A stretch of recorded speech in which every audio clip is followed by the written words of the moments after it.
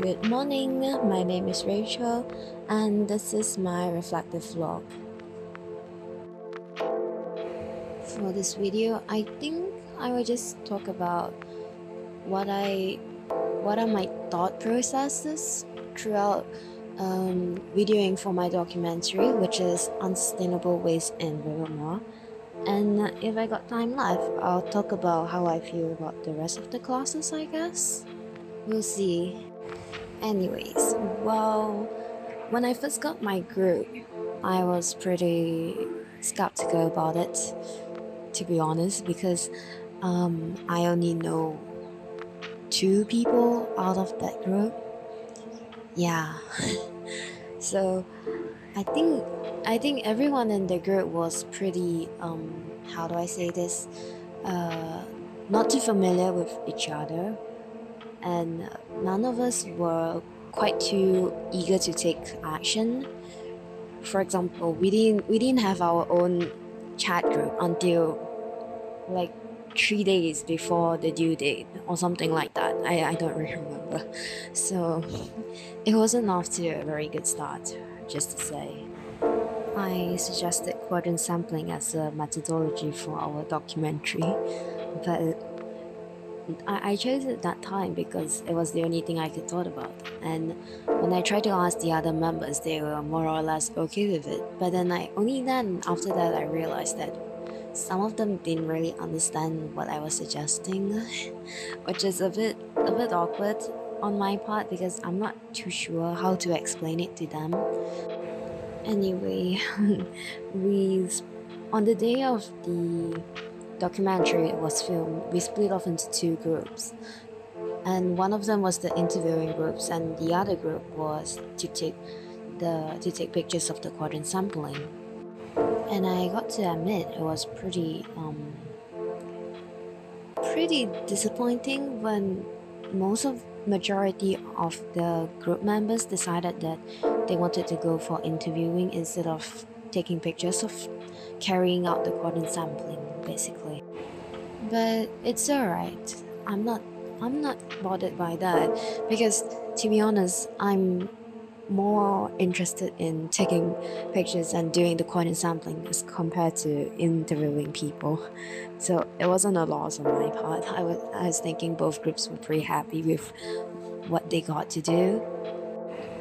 But the problem is i just don't think that most of them understood what I was trying to convey to them.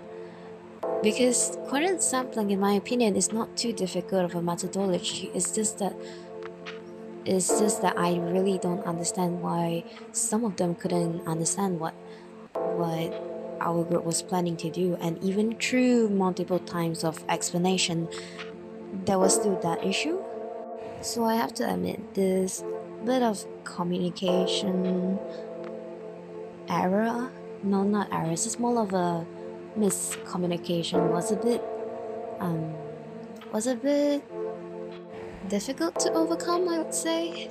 I think so.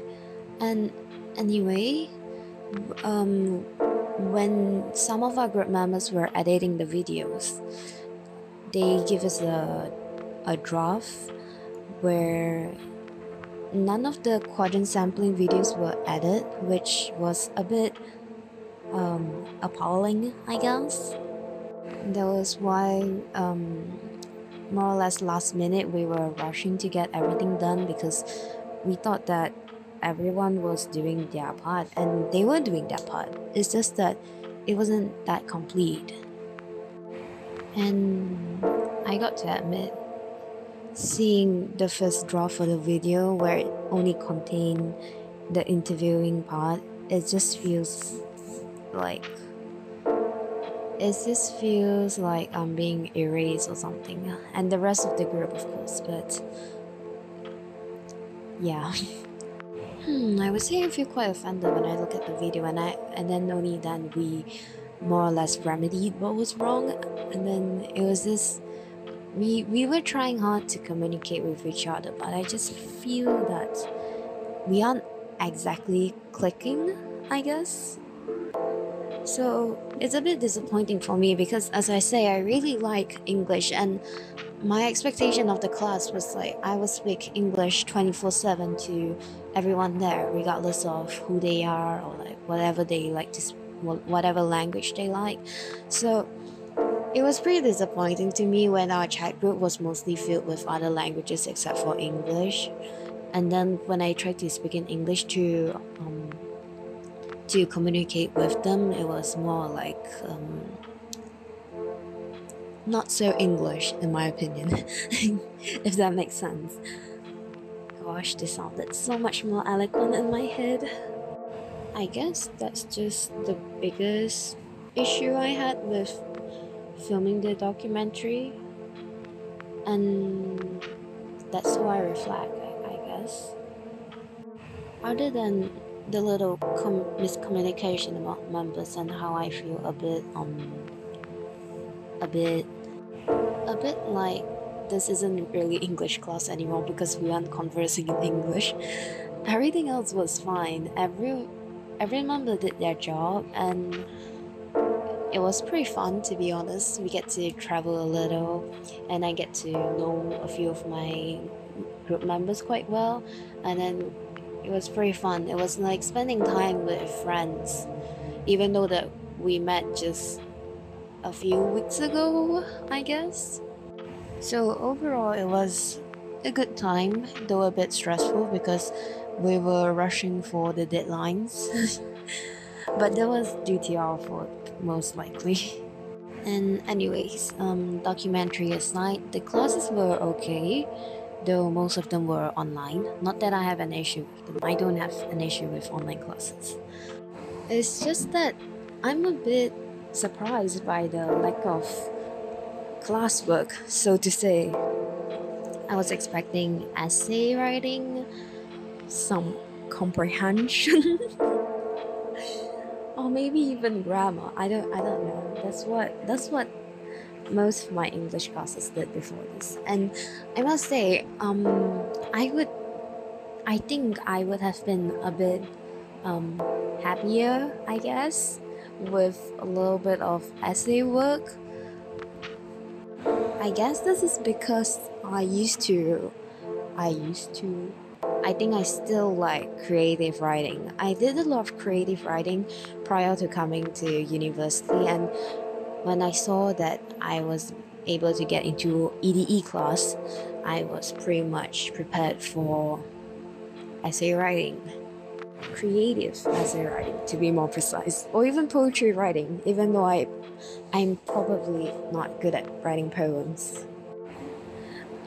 My favorite EDE class was probably the presentation class. It was when it was the mo- the most prominent class, in my opinion, that showcased everyone's characters or characteristics, something like that. And it was very lively and and everyone was speaking English or trying and trying their best to speak English, which is very good in my opinion.